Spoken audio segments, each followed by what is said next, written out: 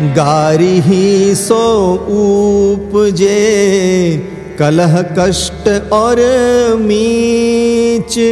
हारी चले सो साधु है, लागी चले सो नीच सुनो जी, लागी चले सो नीच। संत श्री कबीरदास जी के इस दोहे को वर्तमान परिप्रेक्ष्य में अभिव्यक्त करते हुए सदगुरु श्री ओम ऋषि स्वामी कहते हैं,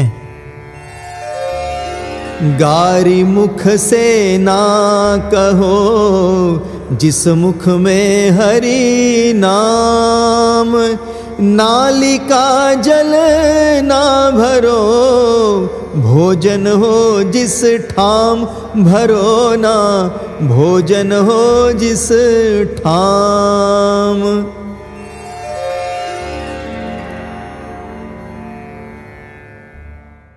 सदगुरु ओम ऋषि प्रतेश भाई यूट्यूब चैनल पे सब्सक्राइब कीजिए, बेल आइकॉन दबाएँ और आने वाले लेटेस्ट वीडियो आप देख सकते हो।